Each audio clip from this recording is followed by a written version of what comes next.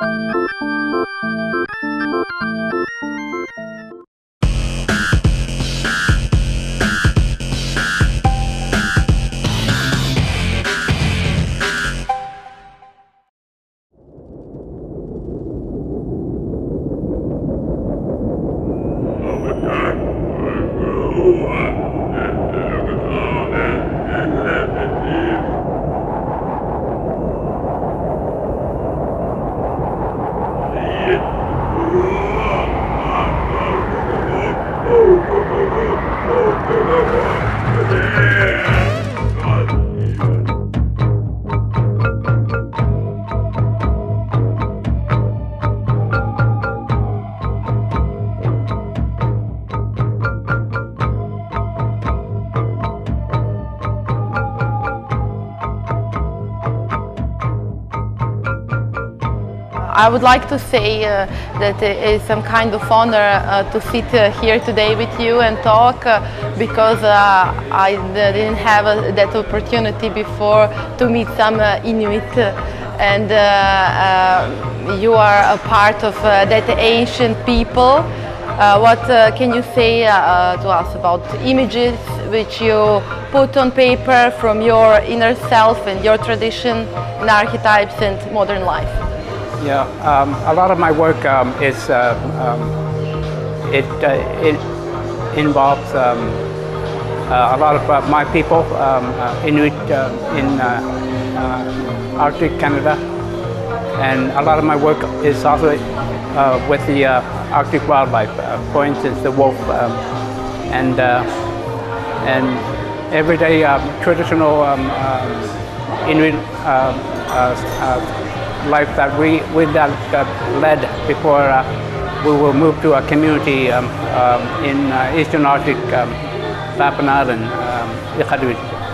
And many of my work um, uh, began um, uh, because uh, I was trying to uh, interpret the changes that were happening with our peoples when we were moved into a, a community, a settlement, instead of moving around on the land like uh, nomads, um, hunters, because that's what we, we were in. Um, we were moved to Iqaluit um, uh, in early 50s from the land because the, um, uh, the federal government decided that um, all these school-age uh, Inuit children had to go to school and therefore all families from all over uh, northern Canada were moved to communities and altogether there are 52 um, uh, communities, Inuit communities uh, in Arctic um, Canada.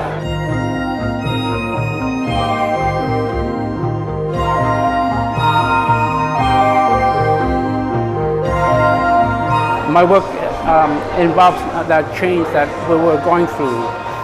And uh, I started doing cartooning because um, I wanted to uh, also to make um, our, our readers, Inuit, um, to better understand the change that was happening with our peoples. And uh, for that reason, uh, I became an accidental uh, cartoonist that way because I started working for uh, Inuit Today magazine, uh, which was a national um, uh, Inuit magazine, mostly directed towards um, our people.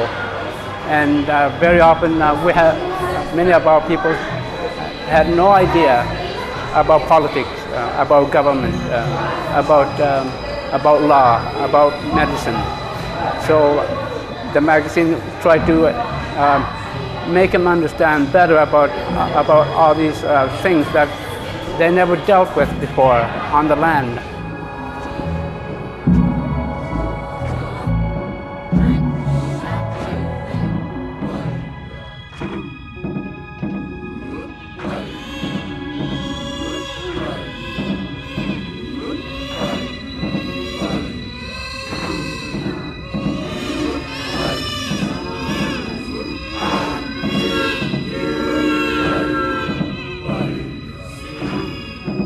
I must ask you, how do you make connection with uh, Sasha, Alexander Zograf?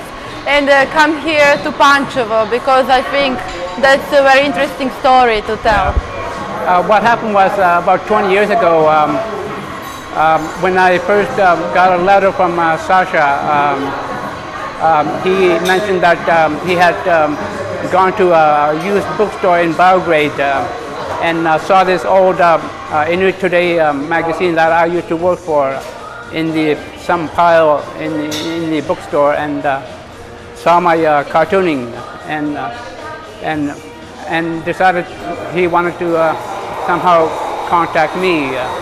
Um, he had no idea where, where I was, didn't know my address, and he started asking people he knew how to somehow get in touch with me. Uh, and uh, that's how we started um, uh, corresponding over the years. And, um, and of course, uh, we, uh, we had hoped to uh, someday meet um, one day uh, in the future. This was a chance for me to uh, come to, uh, um, uh, to uh, uh, Belgrade and this town. How do you say it again? Uh, Pančevo. Pančevo. Yes. And uh, and I was I was really uh, very happy about that because uh, finally I'm meeting uh, Sasha and he has also um, sent me his work over time, a lot of his um, work over time and I'm a curious man like him. We're, we're artists. We're always curious about things. Uh, never-ending curiosity that we have uh, about uh, about art and and about society.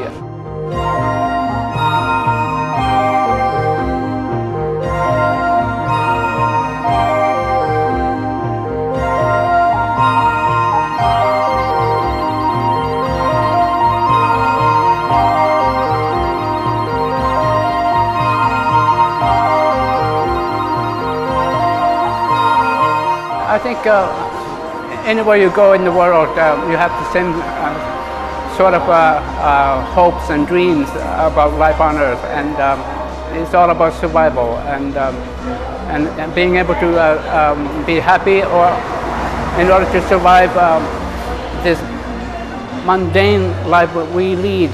Otherwise, we try to somehow um, always to to make um, to make us uh, feel that we belong in this world. And and when you see uh, hear people from uh, anywhere in the world, uh, they have the same hopes and dreams, uh, struggles uh, about everyday life. And uh, very often um, I was curious about about this country because of the the the war that happened, the civil war, and. Um, having seen the um, Olympics previously and then uh, dealing with the um, um, the uh, NATO bombings and so on, and I was curious to see how uh, how um, this country is surviving uh, uh, at the moment.